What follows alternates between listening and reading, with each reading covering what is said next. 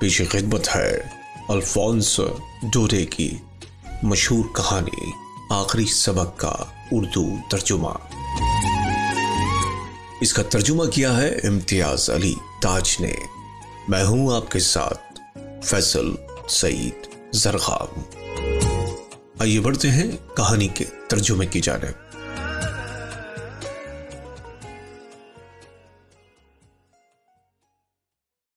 रोज मैं सुबह बहुत देर में स्कूल रवाना हुआ था और दिल ही दिल में सहम रहा था कि मास्टर साहब आज ज़रूर बिगड़े और बरसेंगे। ज़्यादा डर इस ख्याल से था कि मौजियो हैमल ने कह रखा था कि आज वो हमसे गिरदाने सुनेंगे। और मेरी ये कैफियत थी कि उनका एक लफ्ज भी याद ना था। जरा देर को ये ख्याल मेरे दिल में आया कि भाग चलूँ और आज का दिन कहीं इधर उधर फिर कर गुजार दूँ। सर्दियों का हल्का हल्का गर्म और रोशन दिन था। बन के किनारे चिड़िया दरख्तों पर बैठी चहचहा रही थी। चक्की के पिछवाड़े खुले मैदान में जर्मन सिपाही कवायद कर रहे थे। ये चीज़ें गर्दानों से बहुत ज़्यादा रुमान अंगेज थी, लेकिन मैं दिल का इतना कमज़ोर न था कि इन ख्वाहिशों पर गालिब ना आ सकता। चुनाचे मैं जल्दी जल्दी कदम उठाकर स्कूल रवाना हो गया। मैं टाउन हॉल के सामने से गुजर रहा था तो मैंने देखा जिस तख्ते पर इश्तेहार लगाए जाते हैं, उनके सामने लोगों की एक भीड़ लगी हुई है। पिछले दो सालों से जो बुरी खबर भी आती थी, वो इश्तेहारात के इसी तख्ते पर पहले पहल पड़ी जाती थी। फौजों को शिकस्त की खबरें, ऐलानात, फौजी अफसरों के अहकाम वगैरह। चुनाचे गुजरते गुजरते मैंने सोचा, अब क्या किस्सा हुआ? मैं बड़ी फुर्ती से कदम उठाए चला जा रहा था कि वॉचर लोहार ने जो अपने एक शागिर्द समेत वहाँ मौजूद था, इश्तेहार पढ़ने के बाद पुकार कर मुझसे कहा, मियाँ साहबजादे, इतनी जल्दी में क्यों हूँ? अभी स्कूल पहुँचने के लिए तो बहुत वक्त है। मैंने सोचा, यूँ ही मेरी हँसी उड़ा रहा है।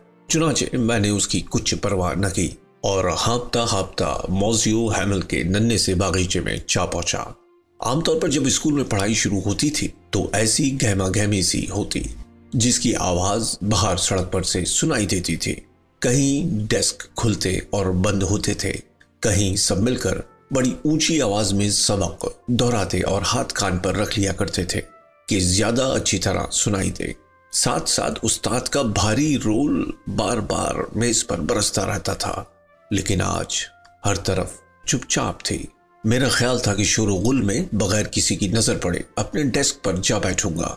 मुझे क्या इल्म था कि मदरसे में इतवार किसी खामोशी का आलम नज़र आता है? खिड़की में से अंदर झागा तो देखा तमाम हम जमात अपनी अपनी जगह पर बैठ चुके हैं और मौजियो हैमिल अपने लोहे का हैबतनाक रोल बगल में दबाई जमात में इधर उधर टहल रहे थे। अब इसकी सिवा चारा न था कि दरवाज़ा खोलकर सबकी नज़रों के सामने अंदर दाखिल हूँ। आप खुद तस्वुर फरमा सकते हैं कि शर्म और खौफ के मारी मेरी क्या हालत हो रही होगी? पर कुछ भी नहीं हुआ। मौसियो हैमिल ने मुझे देखा और बड़ी शफकत से कहा फ्रेयर मिया, अपनी जगह पर बैठ जाओ। हम तो तुम्हारे बगैर ही सबक शुरू कर देने वाले थे। मैं जल्दी से बेंच फैलांग कर गुजरा और अपनी जगह पर जा बैठा। जब डर जरा कम हुआ और मेरे हवास दुरुस्त हो गए तो उस वक्त मैंने देखा कि मास्टर साहब आज अपना खुशनुमा हरा कोट झालरदार कमीज और सिया रेशम की नन्ही सी कामदार टोपी पहन रखी थी। ये वो लिबास था जिसे वो सिर्फ़ मुआयने या तकसीम इनाम के रोज पहना करते थे। इसके अलावा तमाम मदरसा कुछ अजीब तरह अनोखा और मतीन सा नज़र आ रहा था। लेकिन जिस बात पर मुझे सबसे ज़्यादा अचंबा हुआ, वो ये थी कि पिछली नशिस्तें जो आमतौर पर खाली रहा करती थी, आज उन पर हमारी तरह गाँव के लोग बैठे हुए थे। बूढ़ा गुजर अपनी तिकोन टोपी पहने बैठा था। इसके अलावा शहर का पुराना मेयर, पुराना पोस्ट मास्टर और कई और लोग भी मौजूद थे। हर शख्स उदास नज़र आता था। बूढ़ा गुजर बाज़ार से एक कायदा ले आया। उसे खोलकर अपने जानों पर रख लिया था और उसके मजमून पर उसकी ऐनक रखी हुई थी। मैं इन अनोखी बातों पर हैरान ही हो रहा था कि मौसियो हैमिल अपनी कुर्सी पर बैठ गए और उसी मतीन और शफीक आवाज़ से जिसमें मुझसे बात की थी, बोले मेरे बच्चों, आज मैं आज मैं तुम्हें आखिरी सबक दूँगा। बर्लिन के अहकाम आ चुके हैं कि अल्सास और लॉरियन के मदरसों में सिर्फ़ जर्मन जबान पढ़ाई जाए। कल नया मास्टर आ जाएगा। ये तुम्हारा फ्रांसीसी का आखिरी सबक है। मैं चाहता हूँ आज तुम बहुत मुतवजह रहो। ये लफ्ज ऐसे बिजली की तरह मेरे दिल पर आकर पड़े। आह, कम वक्त इसी बात का ऐलान तुमने टाउन हॉल के बाहर लगा रखा था। मेरा फ्रांसीसी का आखिरी सबक। मुझे तो अभी लिखना भी ना आया था। अब मैं और कुछ भी ना सीख सकूँगा। जहाँ हूँ, वहीं रुक कर रह जाऊँगा। मुझे कितना कल्क हुआ कि अपना सबक भी याद ना किया करता था। घोंसलों से चिड़ियों के अंडे चुराने और दूसरे खेलों में वक्त खोने निकल जाता था। किताबें जो जरा देर पहले मेरे लिए मुसीबत बन रही थी और उठाए न उठती थी। ग्रामर और तारीख की किताबें। अब ऐसी पुरानी दोस्त मालूम हो रही थी, जिनसे रिश्ता तोड़ना किसी तरह मुमकिन नज़र न आता था।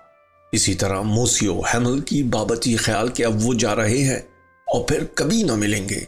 उनके रूल्स और उनकी सख्त मिजाजी की याद को दिल से मिटाई दे रहा था कम नसीब शख्स। इस आखिरी सबक के एजाज में आज तूने अपना बेहतरीन जोड़ा पहन रखा है। अब मैंने समझ लिया कि शहर के बूढ़े लोग आज क्यों पिछली निशिस्तों पर बैठे हुए हैं। इसलिए कि आज इन्हें भी रह रह कर कुल्क हो रहा है कि ज़्यादा दिनों स्कूल क्यों न गए। वो अपने तरीक पर इस शख्स का शुक्रिया अदा कर रहे थे, जिसने चालीस साल तक निहायत खलूस और दियानत से उनकी खिदमत अंजाम दी थी। वो अपनी समझ के मुताबिक इस मादरे वतन की तज़ीम करने को जमा हुए थे, जिसके अब वो मालिक न रहे थे। मैं ये सब कुछ सोच ही रहा था कि इतने में मेरा नाम लिया गया। अब सबक सुनाने की मेरी बारी थी। उस वक्त कोई मुझसे मेरा सब कुछ ले लेता और तमाम खौफनाक गिरदाने मुझे इस तरह सिखा देता कि मैं बुलंद आवाज़ से वाज तौर पर किसी गलती के उन्हें दोहरा सकता। लेकिन चंद लफ्ज ही बोलकर मैं रह गया। दोनों हाथों से डेस्क को पकड़ रखा था।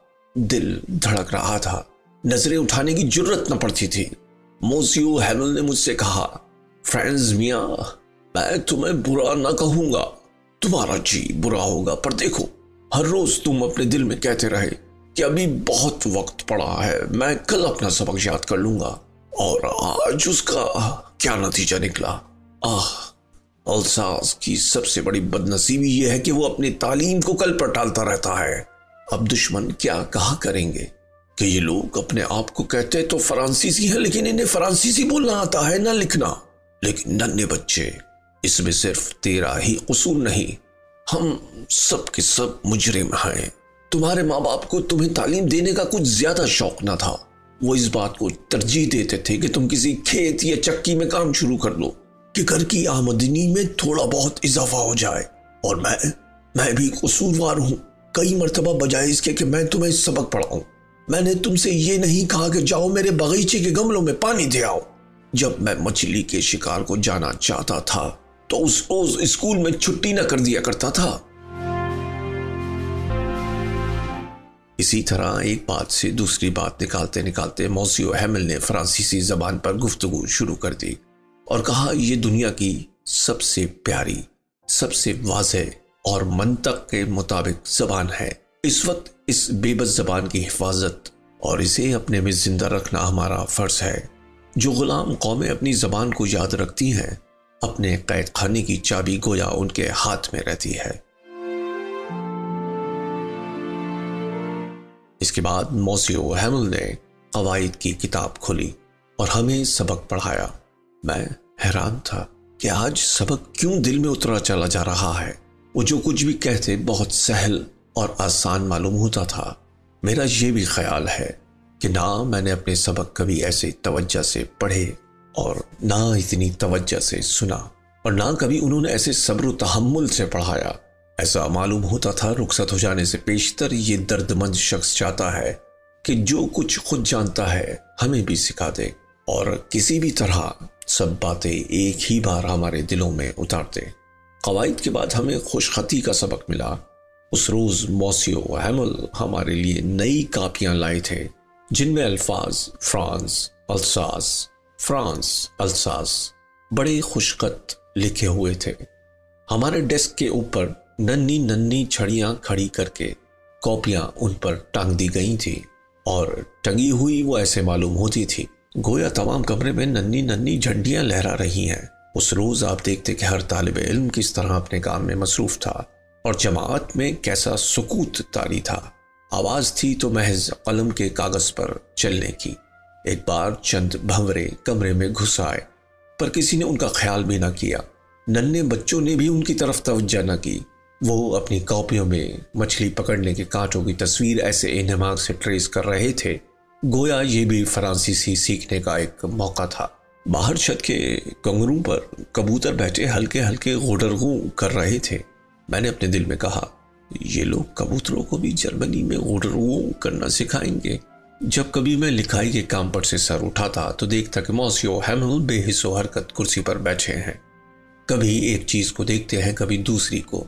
गोया ये बात अपने दिल में जमा लेना चाहते हैं कि इस नन्हे से कमरे में हर चीज़ कैसी नज़र आ रही है।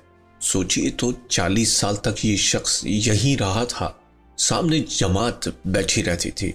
और दरीचों में उसे उसका नन्ना सा बागीचा नज़र आया करता था। डेस्कें और बेंच उसकी नज़रों के सामने घिसकर पुराने हो गए थे। बागीचे में बलूत के पेड़ उसके देखते ही देखते बुलंद हुए थे। अंगूर की बेलें जो खुद उसने अपने हाथों से लगाई थी, दरीचों के गिर्द बल खाती हुई छत तक जा पहुँची थी। हाय, इन सब चीज़ों को छोड़कर चले जाने से उसका दुखिया दिल कैसा खून खून हो रहा होगा। ऊपर की मंजिल में उसकी बहन के इधर उधर फिरने की आवाज़ आ रही थी। वो असबाब बांधने में मशगूल थी। बस अगले दिन उस शख्स को अलसाज से रुखसत हो जाना था। लेकिन फिर भी उस शख्स में इतना हौसला था कि आखिरी दम तक हर सबक सुनता रहा। खुशखती के बाद हमें तारीख का सबक मिला और इसके बाद नन्हे बच्चे अबजत दोहराते रहे। पिछली निशिस्तों पर अब बूढ़े हुजर ने ऐनक लगा रखी थी। और अपना कायदा दोनों हाथों में संभाल कर बच्चों के साथ साथ हिज्जों की मशक कर रहा था। आप मौजूद होते तो देखते कि वो पढ़ रहा था और रो रहा था। उसकी आवाज़ शिद्दत, जज्बात से काँप रही थी। ऐसी अजीब मालूम होती थी कि कभी हम चाहते हंस पड़े और कभी चाहते कि उसके साथ मिलकर रोने लगे। आह, वो आखिरी सबक मुझे कैसे अच्छी तरह याद है। इतने में यकयक घड़ी ने बारह बजाए। उसके साथ ही जर्मन सिपाहियों के बिगल की आवाज़ सुनाई दी। वो कवायद से फारिग होकर गुजर रहे थे। मौजियो हैमल कुर्सी पर से उठ खड़े हुए। उस वक्त उनके चेहरे का रंग फीका पड़ गया था। मगर जैसे बुलंदोबाला वो उस वक्त नज़र आते थे, पहले कभी नज़र ना आए थे। वो बोले, मेरे दोस्तों, मैं मैं, किसी चीज़ ने उनका गला घोट दिया था। वो और कुछ न बोल सके। फिर ब्लैक बोर्ड की तरफ़ मुड़ गए। चौक का एक टुकड़ा लिया। और अपनी पूरी कुवत से काम लेकर जिस कदर बड़े अल्फाज में लिख सकते थे, उन्होंने ब्लैक बोर्ड पर लिख दिया, जिंदाबाद, फराज। फिर वो रुक गए, अपना सर दीवार से टेक दिया और बगैर कोई लफ्ज मुँह से निकाले, सिर्फ़ हाथ से ऐसा इशारा किया जिसके मायने थे, स्कूल बंद हो गया। अब तुम जा सकते हो।